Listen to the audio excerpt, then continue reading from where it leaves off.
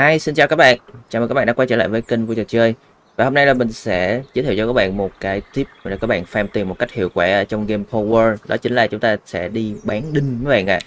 Một cái đinh như vậy thì thương gia nó sẽ mua với giá là 160 đồng một cái.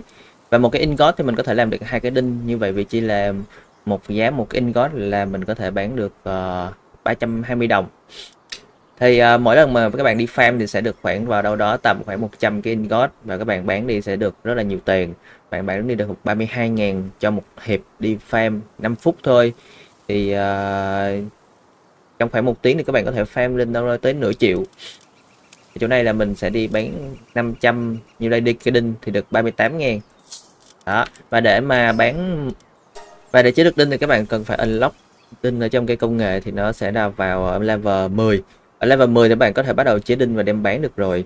Và với cái số tiền mà bán đinh được thì bạn có thể mua rất là nhiều thứ hữu dụng sau này như là đường, trứng, sữa để mà có thể chế bánh, hoặc là thậm chí cả đi mua đạn. Ở những cái trader họ bán đạn.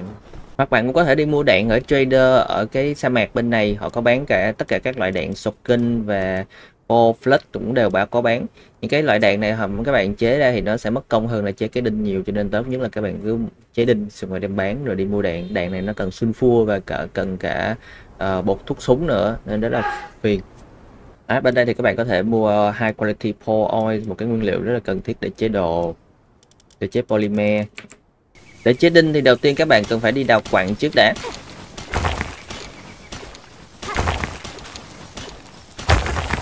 Và sau đó là nung nó lên thành ingot. Xong rồi đem ra bàn chế. Mình chế được 48 cái. Và đem bán cho thương gia, lấy lợi nhuận.